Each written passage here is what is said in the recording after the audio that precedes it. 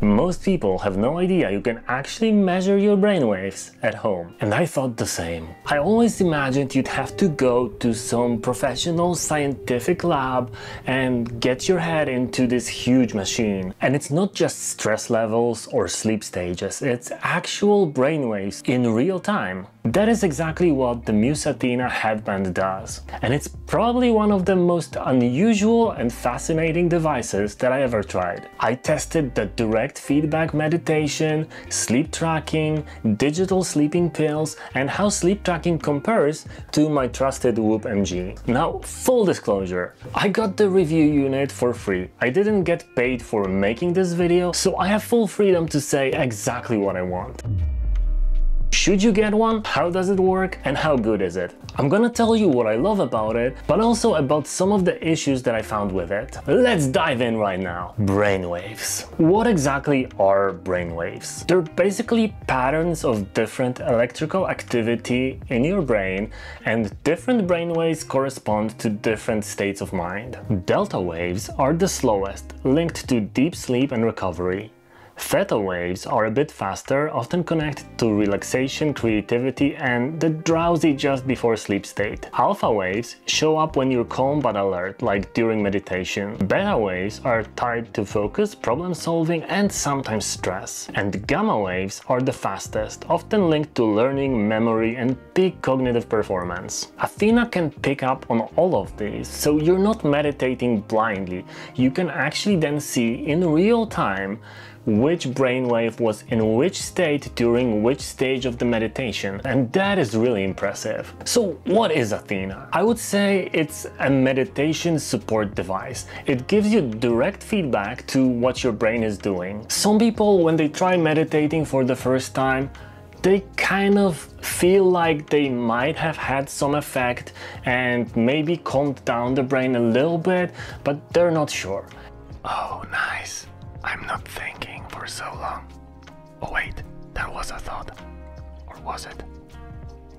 Here it's pretty easy to spot. And I think that direct feedback makes it very easy to train your mind to meditate better and get into those different states of mind that you want to achieve through meditation easier and faster. It's a headband that combines EEG, which measures your brain electrical activity, with something called FNIRS, it's a technology that looks at blood flow in the brain.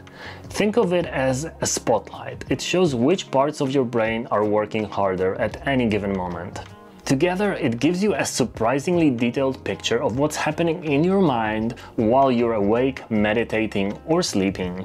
Normally, this kind of brain imaging is only available in scientific-looking research centers, but somehow Muse has packed it in into this little device. And you can put that device on at any moment, at home or at the beach. This is how it looks like. It came in this nice paper box and inside it was vacuum sealed. That's a really nice touch. It weighs 41 grams and is made from soft, comfortable fabric. It has all the electronics on the front, which positions it on your forehead. Okay, let's talk about my experience with it. The headband needs a mobile app to work. It connects to the app using Bluetooth and then it enables you to use your mind to influence the meditations. After a quick setup and onboarding, I was thrown into a meditation where I was sitting down in a tropical rainforest, hearing the sounds of a heavy rain. But the more quiet my brain became, the more the rain subsided into a drizzle and some birds chirping started to appear.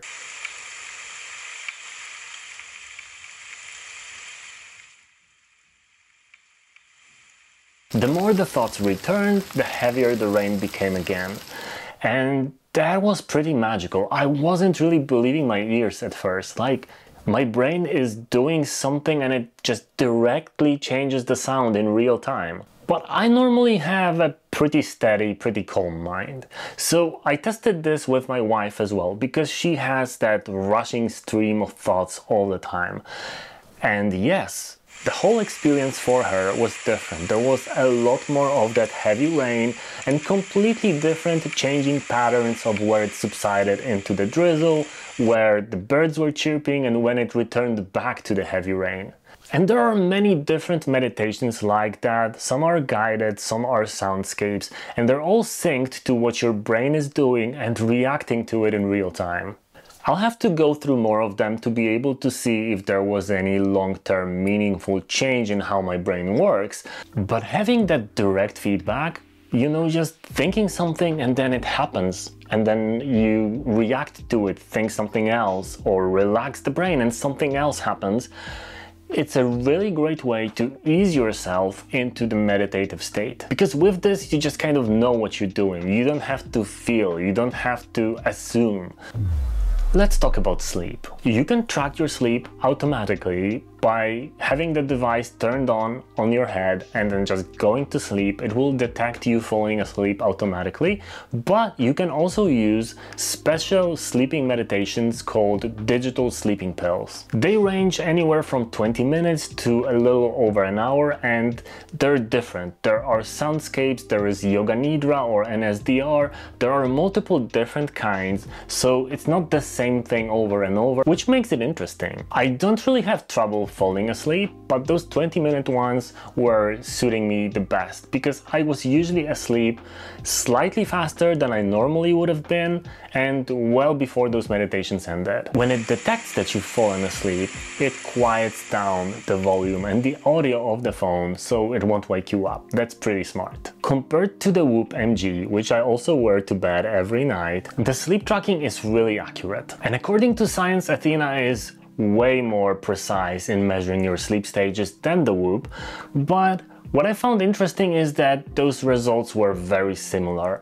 They were around 5 minutes off in every sleep stage and 5 minutes off in the total sleep time, but it was close enough. There is definitely more precision in those specific sleep stages from what the band gives you than from what the Whoop gives you, but it's a nice comparison to see that both detected the sleep stages in roughly the same spots. The only thing that I found odd is that the headband detected a much higher heart rate in the second half of the night compared to the Whoop, which kind of kept it steady throughout the night, but it might have been because the device has shifted when I was shifting positions in bed. It also tracks your sleeping position, so whether you're on your back, on the side, which side, for how long, and that ends up with a huge amount of data, which is the heart rate, the different brain waves, the different sleep stages, the positions, the calmness, and here we get to the biggest problem that I have with this device. I think the biggest problem with Athena is not the device itself it's the mobile app. The device is super well made, super robust, the meditations are nice as well,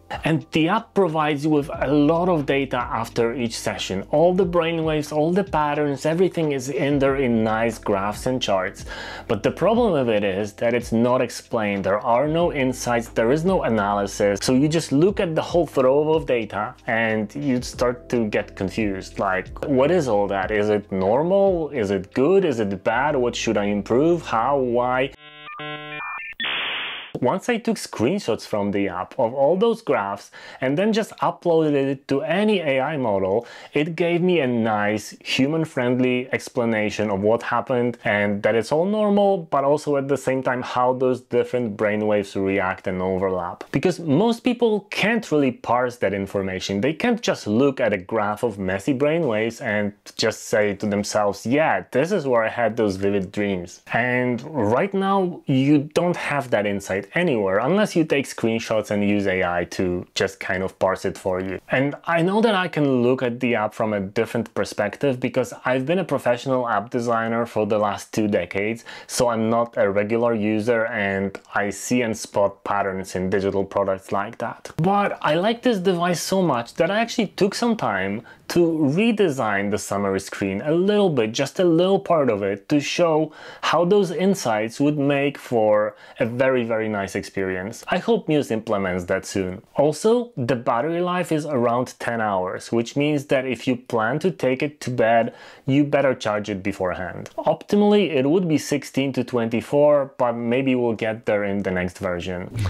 So should you get one? The app is currently the only issue I have with it, but it's not a huge issue because you can always update the app. You can hook up an LLM to analyze the data for you and do a lot of other things like that, so that's pretty simple. The device itself is really solid. And it's also quite magical to be able to steer your thoughts and have direct feedback happening as you do it yeah, that feels like we're already living in the future. I think this is a perfect meditation support device because it gives you that direct feedback so you know what you're doing. You can learn to meditate better in the future and that will calm your mind even more and then you'll be meditating even better. And even though meditation is not about competing with anyone, it's still really good to know that what you're doing is actually having an effect. I didn't get paid for making this review, but you can get a Muse Athena device yourself with an affiliate link in the description of this video. If you're into meditation and if you're into making your brain better, I think this is a very, very good device. I'm going to continue to experiment with it further and I'm definitely going to buy my own. First impressions, however, really good.